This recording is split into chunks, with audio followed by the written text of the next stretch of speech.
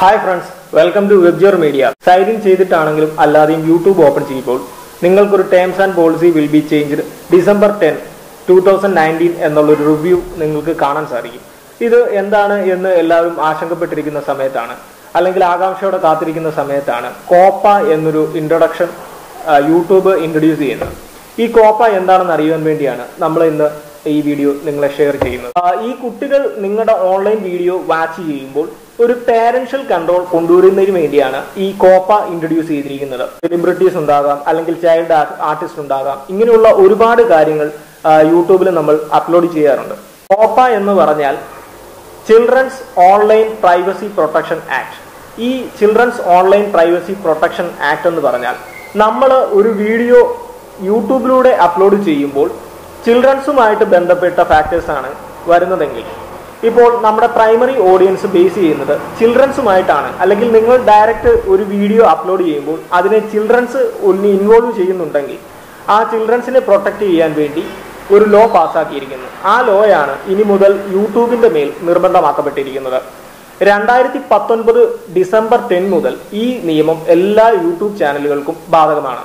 അപ്പോൾ ഇത് എങ്ങനെ നമ്മുടെ യൂട്യൂബേഴ്സിന് ബാധകമാകും എന്ന് നോക്കിക്കഴിഞ്ഞാൽ നമ്മൾ ഇനി ഒരു വീഡിയോ അപ്ലോഡ് ചെയ്യുമ്പോൾ ഇത് കുട്ടികളുമായി ബന്ധപ്പെട്ടതാണെങ്കിൽ തീർച്ചയായും അതിന് ഒരു കാറ്റഗറി കൊടുത്തിരിക്കണം. യുണൈറ്റഡ് സ്റ്റേറ്റ്സിന്റെ ഒരു ഇൻഡിപെൻഡന്റ് ഏജൻസിയാണ് എഫ് ടി സി ഇതിന്റെ ഫുൾ ഫോം വരുന്നത് ഫെഡറൽ ട്രേഡ് കമ്മീഷൻ ഈ ഫെഡറൽ ട്രേഡ് കമ്മീഷൻ ഒരു ഗൈഡൻസ് വെച്ചിട്ടുണ്ട് അല്ലെങ്കിൽ ഒരു നിർദ്ദേശം വെച്ചിട്ടുണ്ട്.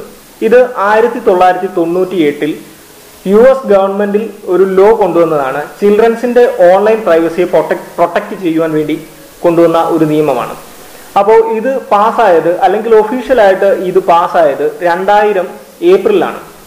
ഇങ്ങനെ ഒരു സംഭവം യൂട്യൂബ് എന്തിനാണ് ഇൻട്രൊഡ്യൂസ് ചെയ്യുന്നത് എന്ന് ചോദിച്ചാൽ ഈ നിയമപ്രകാരം യൂട്യൂബ് മറ്റുള്ള ആളുകളുടെ പ്രൈവസി പ്രത്യേകിച്ചും അവർ നിർവചിക്കുന്നത് made for a children's and kids നമ്മുടെ ഇന്ത്യയിലെ നിയമപ്രകാരം പതിനെട്ട് വയസ്സിൽ താഴെയുള്ളവരെല്ലാം കിഡ്സ് അല്ലെങ്കിൽ ചിൽഡ്രൻസ് കാറ്റഗറിയിലുള്ളവരാണ് എന്നാൽ യു എസിന്റെ നിയമം അനുസരിച്ച് ആ രാജ്യത്ത് പതിമൂന്ന് വയസ്സിൽ താഴെയുള്ളവർ ചിൽഡ്രൻസ് അഥവാ കിഡ്സ് കാറ്റഗറിയിൽ ഉൾപ്പെടുന്നവരാണ്.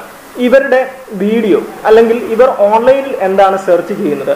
ഇത് സ്ഥലകാല പരിധി അനുസരിച്ച് അല്ലെങ്കിൽ ലൊക്കേഷൻ അനുസരിച്ച് ഈ കുട്ടികൾ എന്താണ് സെർച്ച് ചെയ്യുന്നത് എന്നുള്ളത് വളരെ വ്യക്തമായി തന്നെ യൂട്യൂബിൽ നിർവചിക്കണം എന്നുള്ള ഒരു കാരണം കാണിക്കൽ നോട്ടീസാണ് ഇപ്പോൾ യൂട്യൂബിന് ഈ ഫെഡറൽ ട്രേഡ് കമ്മീഷൻ കൊടുത്തിരിക്കുന്നത്.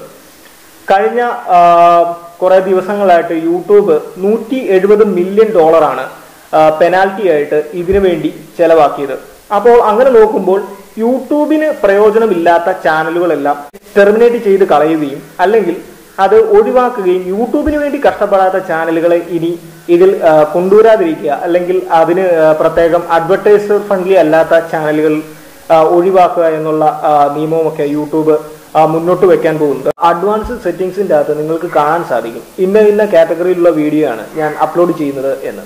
അപ്പോൾ അത് തീർച്ചയായും മനസ്സിലാക്കിക്കൊണ്ട് മാത്രം അപ്ലോഡ് ചെയ്യുക. നിങ്ങൾ ഇടുന്ന വീഡിയോകൾ തീർച്ചയായിട്ടും നല്ലവണ്ണം ചെക്ക് ചെയ്തതിന് മാത്രം അപ്ലോഡ് ചെയ്യുക. അപ്പോൾ ഞങ്ങൾ ഇടുന്ന വീഡിയോകൾ നിങ്ങൾക്ക് ഇഷ്ടപ്പെട്ടു എങ്കിൽ തീർച്ചയായും ലൈക്കും ഷെയറും ഒക്കെ ചെയ്യുക. സബ്സ്ക്രൈബ് ചെയ്യുക. വലത് സൈഡിലുള്ള ബെല്ലേക്കൺ അമർത്തിയാൽ ഞങ്ങളിടുന്ന പുതിയ വീഡിയോകൾ നിങ്ങൾക്ക് നോട്ടിഫിക്കേഷൻ ആയിട്ട് ലഭിക്കുന്നതാണ്.